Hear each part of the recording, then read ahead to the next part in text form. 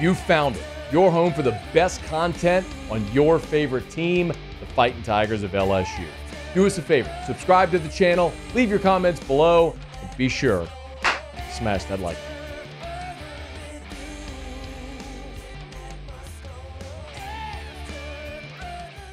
If you were here on Monday's show, I uh I, I kind of riffed a little bit on LSU's uh, roster management and sort of the approach that LSU has taken to building their roster in an NIL era. And I would highly recommend if you missed it, you can go catch it on demand. Uh, the After Further Review LSU YouTube channel. It was a video we posted yesterday. Um, and, and I'll summarize it, but I would really it's it's it's all it's always odd because the thing sometimes the things that everybody needs, like you really need to hear, or the things sometimes people aren't interested in hearing. And that's one of them. Because the way Brian Kelly, I'll summarize it just very briefly. The way Brian Kelly is looking at building his roster is right. He's building through the high school ranks and supplementing with the transfer portal. The problem LSU has is right now their collective is not funded well enough to be able to to afford the top of the transfer portal. That's why guys like Keon Coleman and Braden Fiske and Fen- Fentrell Cypress went to Florida State and not LSU when you wanted them.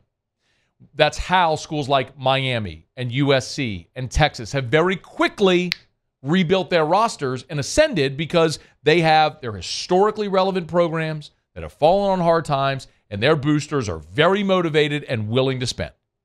So that's that's a summary. And while you look nationally and you go, oh, Olivia Dunne and Angel Reese and Flau'jae and yes, LSU has a lot of student athletes that have done exceptionally well in the NIL space, but their success is really not congruent with LSU. It like Olivia Dunne, if she if she went to school X, if she went to the University of Idaho, she'd still be what she was. She did a brilliant job building her TikTok following when TikTok was in its infancy and eh, we we've seen what's happened there. Anyway, my point is that LSU, as far as funding its collective, is very far behind. So, you know, the the point that I was making essentially is you know, LSU's got to find a way to to fund the collective, and you keep shaking the same trees of the of the donors and the boosters that paid Ed Orgeron $17 million to go away and guaranteed Brian Kelly $100 million and Kim Mulkey's new salary. And you understand it, and you keep going all the same people, and then you now you got to fund a collective, and they'll look at you cross-eyed. So, and I get it. So part of what, you know, my argument was like, LSU's going to have to find a way to get creative. You know, maybe it's something like what I suggested yesterday on the show is maybe you put like a $2 a $5 tax on every ticket sold. And that goes to the collective. I mean, you can handle it from an accounting standpoint, however you want to handle it. But my opinion on the matter is the the absolute love affair that the fan base has with its athletic programs is what has to help the collective in aggregate because you don't have the handful of billionaires that can just go stroke you know multi-million dollar checks year after year after year to fund a collective. So you got to do it a different way. And that that's an, an aside. So we talked about this yesterday, and I got a very long tweet from a guy named Denny Burke. Um, I'll, I'll give him a shout out. And so he, he tweeted me and he said, Matt, I have a question about something you said on the show. You argue LSU does not have enough money in the collective to get the player it needs from the portal. Uh, by the way, that's not an argument, Denny. Like that is a fact. I'm I'm not guessing. I am telling you that is a fact. LSU's collective is not funded well enough to to support what we'd all like to see them do. Okay, I'll go on. He says, but then you also say if Brian Kelly had retained Corey Raymond, we would be okay in the defensive back department. He says, I don't think this adds up. Goes on to say, if what you say about LSU's underfunded collective is true, having Corey Raymond won't change things because he would be forced to work with inferior talent. No matter what he might do as a coach, he would be working with a very low ceiling. He goes on and on. Anyway, it's it's a good point, but here is the counter argument. I want to take you back to something that I have argued from the beginning of NIL when we've had this conversation, which is the inherent advantage that LSU will always have if it's willing to take advantage of it is the state of Louisiana. Louisiana per capita produces more talent than any other state in the country. And LSU is the only Power Five in a talent rich state. So, to which you're going to say, well, then, Matt, why is the roster what it is? Because even if you sign great classes, you're going to get guys, you're going to lose guys. It's the nature of college football today. There is going to be this free flow in and out. You signed 17 guys out of the portal two years ago, you're going to lose players as well. It's the nature of how this thing goes. Okay. So it's not like you get guys that come in as freshmen and they just stay for four years. That's just not the way it works anymore. So you're going to have to constantly replenish with the high school ranks and supplement through the portal, which is the right way to do it. Okay. But here's the point. Let me go back and illustrate why LSU's defensive backfield is in the position it's in. Okay. And, and keep in mind, with respect to Corey Raymond specifically, okay? And there was there was was some fella, I God bless him. He was he messaged the show yesterday just lambasting Corey Raymond like he's he's to blame for the issues, which is asinine because this is the guy who, for a decade, built LSU into DBU. The reason you got guys like Eric Reid and Jamal Adams and Derek Stingley and Patrick Peterson and Morris Claiborne and Tyrann Mathieu and all, all the names you know, they all came to play for Corey. But they all had something else in common that I'm, I'm going to get to in a second. So in the 2019 class, you sign five cornerbacks in 2019 Derek Stingley, Mo Hampton, Raydarius Jones, Jay Ward, Cordale Flott. You hit on three of the five. You signed five cornerbacks in 2019. Five. Stingley, Ward, and Flott, you hit on those guys. You missed on Hampton and Jones. Well, it, uh, maybe it's not even fair to say you missed on Jones, but we'll get to that. So you signed five in 2019. So you're heavy at the position. 2020, you signed two. Elias Ricks, the number one corner in the country, and Dwight McGlothern. You also brought in Darren Evans via the portal.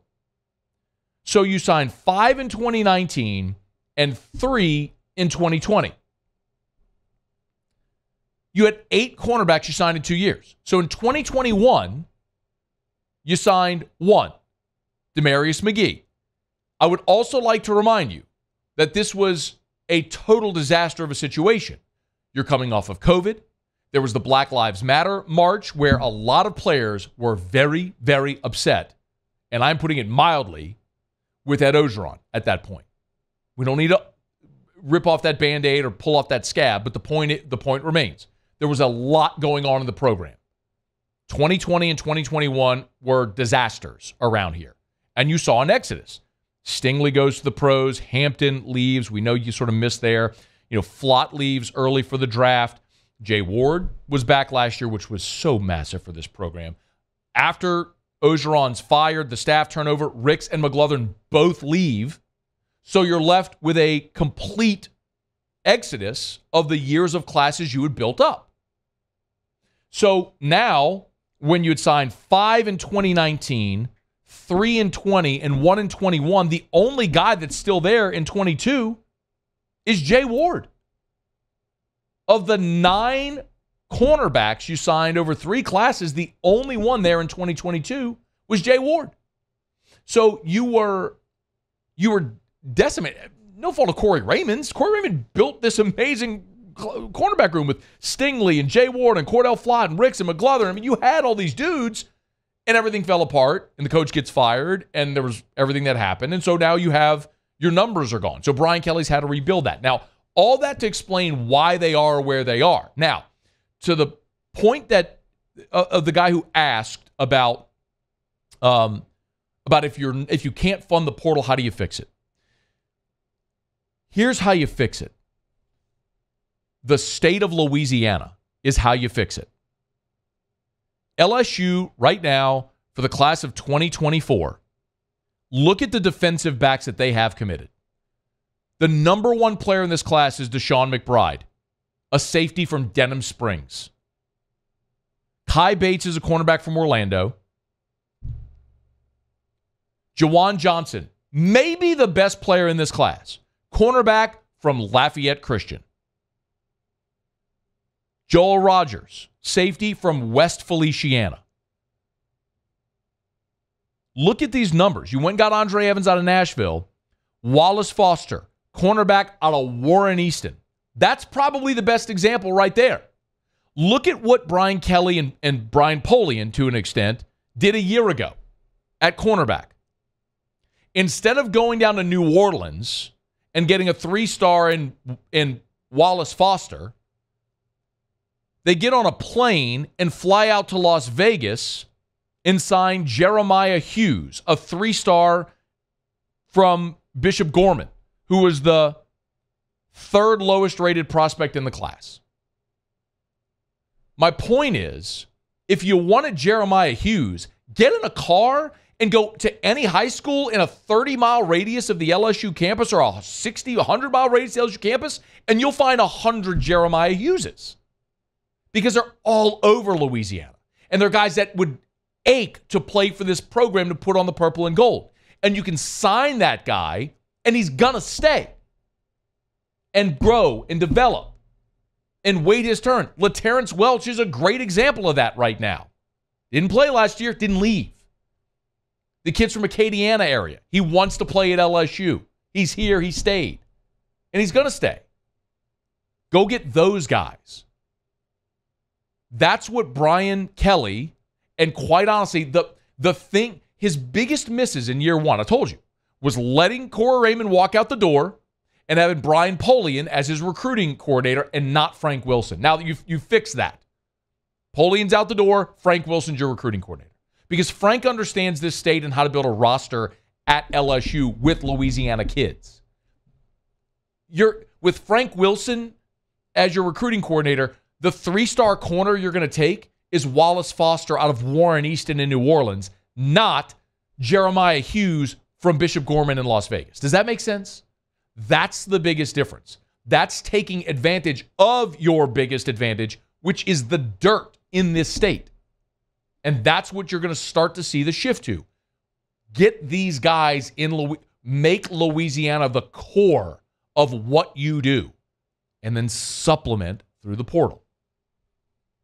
Now, how you continue to generate funds for your collective to be able to afford to go get the best players in the portal, that's that's going to be interesting. And that's going to be something that they're going to have to figure out. And maybe it's going to take losing to be able to go to some of these boosters and say, hey, that defense was awful. Here's a, a corner in the portal. We got to go get him. Can you help? Yes. Maybe that's what it's going to take. Or maybe they get creative in another way. But LSU has got to take advantage of its greatest natural resource, which is the dirt in this state. And it's I'm not it's not a knock. Don't misunderstand. Me. This isn't a knock on Jeremiah Hughes. It's not a knock, you know, from Vegas. It's not a knock on Andre Evans, who's in this class out of Nashville. It's just to say you want to fix that. Start here. Start here with the biggest advantage you have kids that want to play here. You don't think Will Campbell and Emery Jones had knocks on the door after last season to go any damn where they wanted. Let's not, you know, let's not act like collusion isn't happening, like tampering isn't happening. You don't think those dudes were getting calls? But they bleed purple and gold. They ain't leaving. Take advantage of your biggest advantage, which is the dirt. That's how you do it. Hey, thanks so much for watching.